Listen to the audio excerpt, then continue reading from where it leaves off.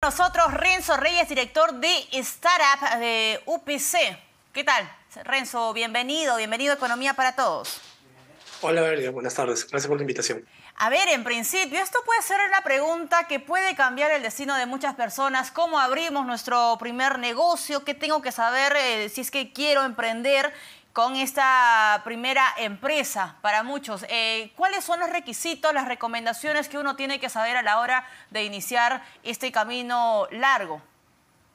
Vamos a dividirlo en dos partes. Primero la parte legal tributaria, que es eh, la parte donde el emprendedor debe definir si es que eh, va a abrir una SAC o de repente una IRL. La SAC es cuando evidentemente va a abrir una sociedad y la IRL es cuando de repente se lanza por él mismo a emprender. Y la parte tributaria es definir si es que se cogerá un RUS o al régimen MIPE tributario, que depende mucho del nivel de facturación. Y la otra parte viene a ser la parte de negocio, ¿no? es conocer bien el sector al cual te vas a lanzar, estar seguro que es un rubro bastante amplio como para que sea rentable. Dos, conocer cuáles son las necesidades de inversión de ese rubro. Tres, conocer la competencia para que puedas marcar un diferencial eh, muy claro respecto a lo que ya existe en ese mercado. Sí, Renzo, y ahí hay una pregunta muy importante que tiene que ver el factor riesgo, porque no es lo mismo hacer o iniciar una empresa a los 25 o 27 años que iniciar una empresa a los 50 o 49 años. Me parece que ahí el factor de riesgo puede impactar de repente las decisiones que uno puede tomar a la hora de emprender. Sí, eh, definitivamente la edad eh, de llegar a la tecnología sí podría ser un factor de riesgo. Eh, tú sabes que los jóvenes que están entre los 25, 35 años son más cercanos a la tecnología, tienden un poco más a consultar fuentes externas, de repente unas personas que no creció con eso, a su alcance, que podría superar los 48, 50, sí podría, pero lo aconsejable en ese momento es que si esa persona está pensando en emprender y no es muy cercano a la tecnología, que se acerque a un familiar, a un sobrino, un hijo que sí sea prácticamente nativo digital, que lo ayude en esa incursión a la tecnología. Sobre todo lo importante es que vea a la tecnología como un medio y no como un fin, un medio para informarse, un medio para tomar decisiones, un medio para estar siempre en línea. Eh, Renzo, pienso, por ejemplo, en, aquellas personas que quieren abrir un negocio en Gamarra, que quieren iniciar algún negocio vía online, eh, en mesa redonda o de repente en el barrio. Em, ¿Qué tan importante es, justo lo que me mencionabas al inicio de la entrevista, el estudio de mercado? Entender muy bien en qué sector te estás metiendo, cuáles son tus competidores, cómo hacer que tu producto tenga un valor agregado y se diferencie del resto. Bueno, eh, siempre se recomienda en negocios que si vas a invertir por primera vez o vas a emprender, emprendes un espacio que tú conoces o que estés rodeado de gente o socios que conozcan ese espacio. Porque la curva de aprendizaje se hace más larga cuando es un espacio que no conoces.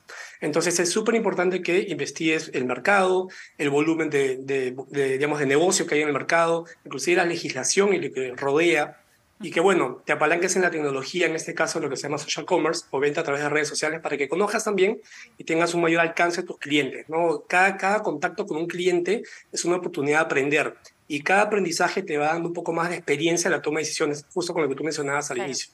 ¿Y cuánto tiempo tiene que pasar para que uno diga, ok, este negocio o este emprendimiento me está generando rentabilidad? ¿Está funcionando? ¿Está yendo viento en popa? ¿Cuánto tiempo pasa? ¿Seis meses? ¿Un año? Mira, esa es una gran pregunta y depende bastante del rubro. Sin mm. embargo, hay un indicador claro que es el punto de equilibrio, que es ese momento en cual tus costos y tus ingresos se hacen iguales y una venta más ya te otorga rentabilidad. Y eso puede pasar generalmente al tercer mes, al octavo mes, al décimo mes y depende mucho rubro. Por ejemplo, un, un negocio de manufactura o un negocio de venta a la calle puede generar ingresos a partir de los dos, tres meses. Pero de repente un negocio de fabricación, un negocio que necesita un tiempo más de, digamos, de desarrollo, te puede tomar hasta más de un año. Entonces siempre es importante que tengas la espalda económica o los ahorros para poder sobrevivir y cubrir costos fijos por lo menos ocho meses, que es más o menos la estadística que se dice que con un negocio debería ser rentable. ¿Y en qué momento uno dice, bueno, me equivoqué? Esto no es lo mío, leí mal el mercado, me tengo que retirar antes que esto implique pues una deuda, una mochila pesadísima sobre mis hombros. Mira, esa es una, una pregunta muy, muy personal y creo que lo que siempre se recomienda en el rubro de emprendimiento es que mientras más rápido te des cuenta, mejor. Por eso es importante que al inicio tu proyecto lo compartas con otras personas con experiencia, porque ellos te van a decir cuál es el camino que debes seguir, cuál es el camino que de repente ya siguieron. Es muy importante que te rodees de mentores que ya hayan caminado todo ese trecho para que tu riesgo reduzca y tú puedas encontrar rápidamente las señales que te hagan decir, oye, Estoy facturando menos de lo planificado por cinco meses. Acá algo está pasando. Ah. Entonces creo que mientras más rápido te des cuenta de eso, es mucho mejor. Al contrario de pensar que es un fracaso. Mientras más rápido te equivoques, es mejor. Perfecto. Y, Renzo, ¿es, mejor hacer un emprendimiento solo o buscar aliados, amigos, de repente familia? ¿Qué es lo recomendable o también ahí depende del rubro al que uno va, va sumándose? Eh, muchas ideas de negocio parten de una genialidad, de alguna idea, de una inspiración, pero que siempre necesita una contraparte. Una contraparte que te ayude a tomar decisiones, una contraparte que vaya a hacer fuerte tus debilidades por ejemplo, es muy típico en el rubro de emprendimiento, eh, por ejemplo, tecnológico, donde tengas una persona con un perfil muy vendedor y busques una persona con un perfil más técnico, porque son dos capacidades distintas. Entonces, cada uno se complementa. Uno se encarga de vender y de vender bien, y otro de desarrollar o producir, hacerlo bien. Cada uno su especialidad. Entonces, siempre es recomendable que se complementen las fuerzas y las energías. Y para cerrar, eh, Renzo, ¿cuál es el peor error que comete una persona al abrir su primer emprendimiento, su primera empresa?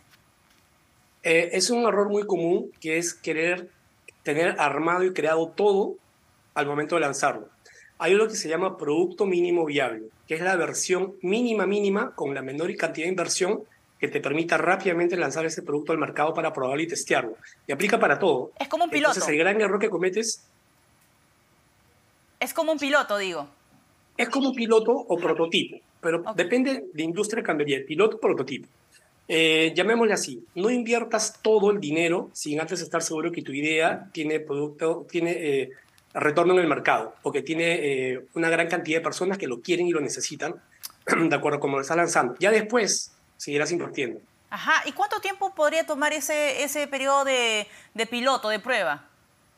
Mira, te puede tomar un fin de semana como un mes. Depende, depende. Si es un negocio digital, un producto mínimo viable digital lo pruebas en un fin de semana. Pauteas un poco con, con, marketing digital y lo lanzas. Y un producto que de repente tiene una combinación física digital eh, que depende de que la gente te visite, que te vea, te puede tomar de repente un mes unas semanas para que compares cómo te fue la semana de hoy versus la anterior y así sucesivamente. Clarísimo. Renzo, muchas gracias por acompañarnos esta tarde en Economía para Todos. Renzo Reyes, director de Star UPC, estuvo con nosotros en Aprende y Emprende.